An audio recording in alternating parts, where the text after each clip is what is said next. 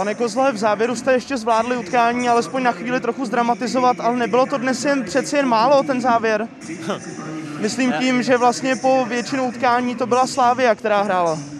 Já s tímhle úplně nesouhlasím. Já si myslím, když to porovnám s tím utkáním, který jsme minule zremizovali, tak si myslím, že dneska jsme možná podali lepší výkon, hlavně směrem dopředu a e, bohužel dneska byla Slávě efektivní. Dali nám gol ze standardky, z které jsme minule trestali my.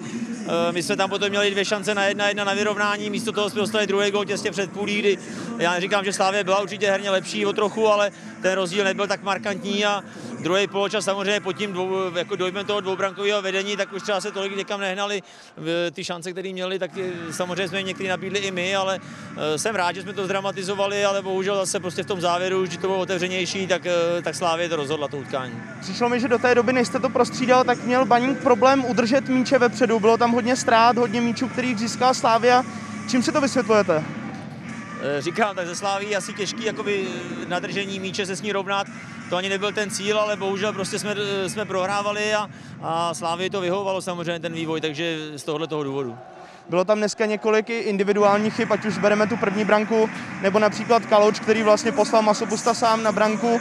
Z čeho ty chyby pramenily? Byly to ze hry Slávie?